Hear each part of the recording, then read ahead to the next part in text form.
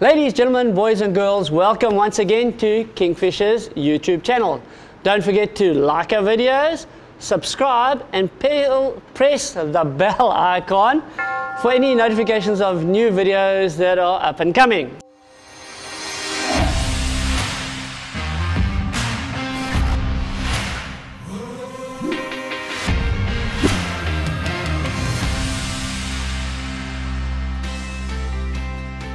Today I'm talking about bass lines.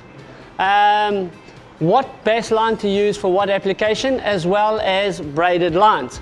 Straight off the bat, I'm going to talk about one of the easiest ones, braided lines. Okay, there is several different variations. You get 12x, 8x, 4x, 2x. Why do you say should we use an 8x? Versus, for instance, a 2x or 4x. An 8x is basically a much tighter weave. It's much smoother. Um, generally, it's a lot thinner as well. The more you go down to 2x, 4x, the more abrasive resistance the line becomes. In other words, the harder the braid is, okay, um, compared to an 8x or a 12x.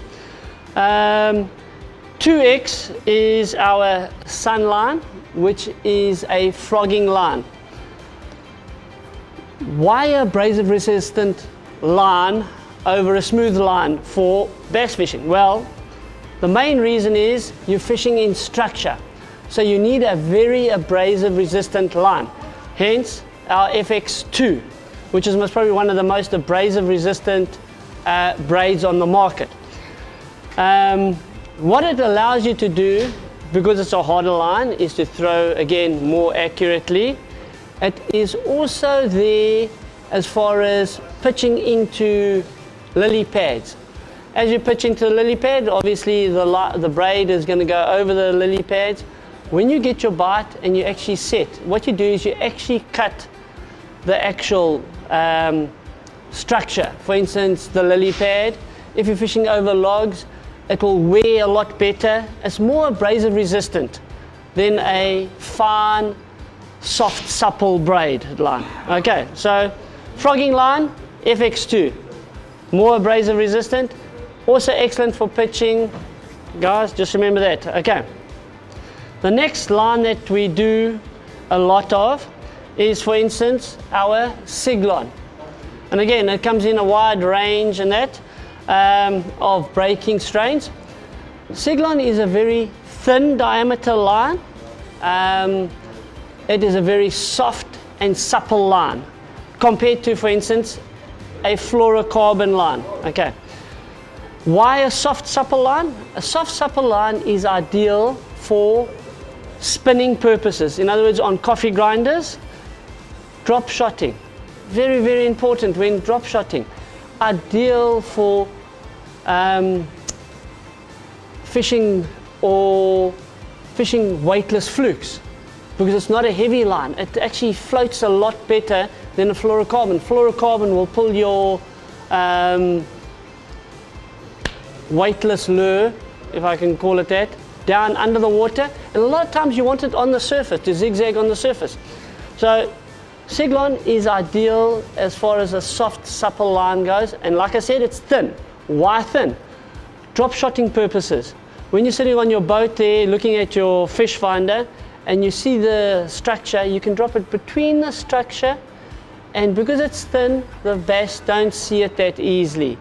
It's ideal for that light little presentation basically when you actually drop shotting. I'll show you how to do that one just now. Fluorocarbon. Fluorocarbon is ideal for when you are Again, also pitching into structure, very important, but more importantly, it takes your lure down. So Carolina rigs, Texas rigs, a fluorocarbon line is ideal. And it's also invisible. So you can tie your Texas rig directly to it. Okay. A normal Siglon is ideal for cranking. Okay, ideal for cranking because there's a lot more stretch in it. it allows the bass to inhale the lure and actually turn before you actually set the hook. Very important to have a soft, supple line. A hard line like our fluorocarbon here has less stretch in it.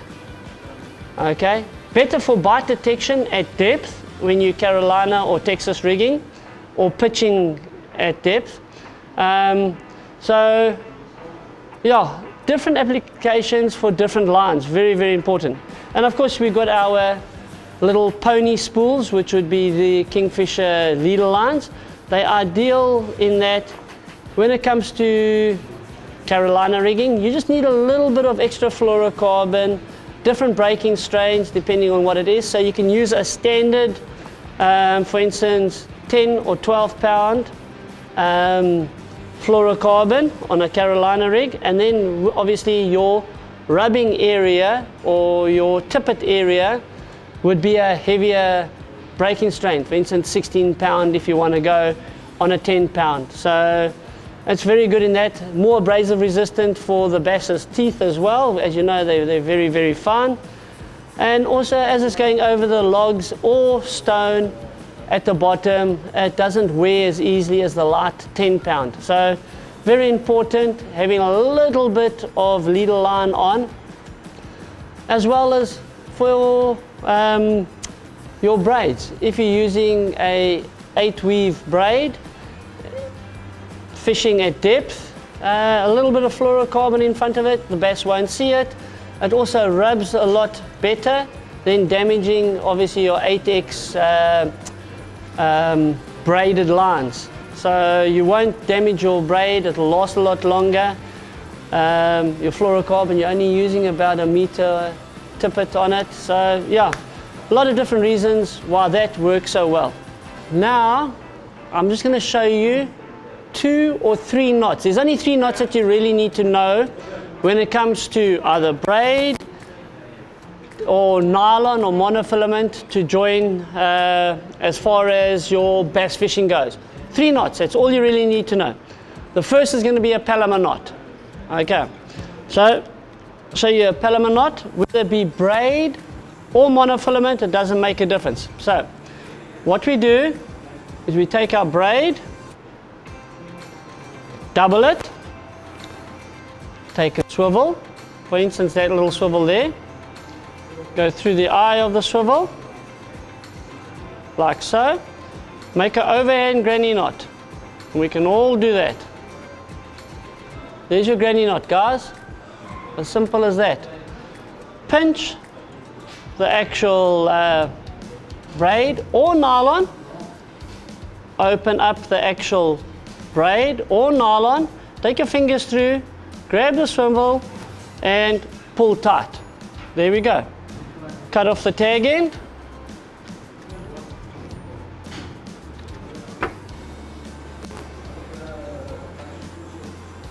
There it is there, Palomar knot.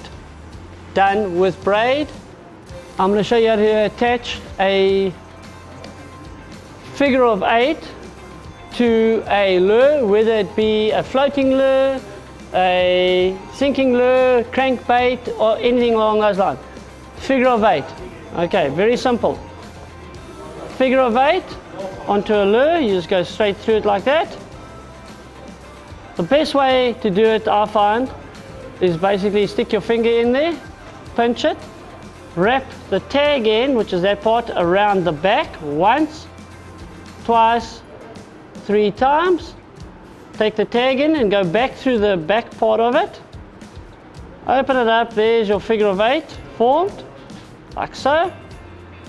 Remember to lubricate, slide down, pull tight, and again just cut off the tag end. Palomar knot, figure of eight, and you're good for bass fishing.